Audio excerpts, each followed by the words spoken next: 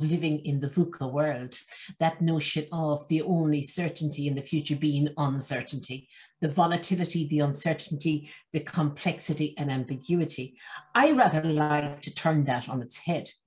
And I ask you, how can we as a species turn the VUCA around to realize our true potential in terms of vision, understanding, care, and action? That's my VUCA vision, understanding, care, and action. How can well, we turn it around? Well, it, within, within your framework of vision, understanding, care, and action, it's bracketed by vision on the outside and action on vision and action on the outside, and yes. in the middle are understanding and care. Yeah. Right. So if you look at that as being you start with where you want to go to. Stephen Covey talks of start with the end in mind. Sure. That's why the vision is so important because, as my grandma said, if you don't know where you're going, you'll end up somewhere else. And vision is vision is a conscious decision as to where you want to be in the future. Yeah. So that that gives you your direction.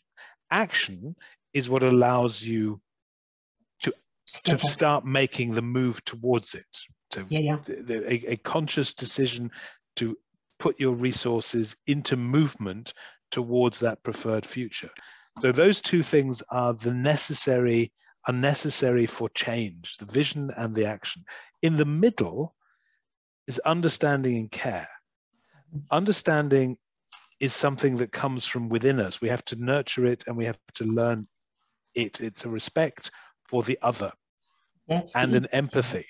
The and EQ. care is the action part of that. Care sure. is action in okay, care is understanding in action. Mm-hmm. It's what we it's what we do to look after each other, ourselves, self-care and care of the others. That feeds into the culture. So within that VUCA, you have your version, the vision, understanding, care, and action, you have the brackets of direction and action or movement, and inside are the values and the humanity that tells us how we are going to get to that place in the future.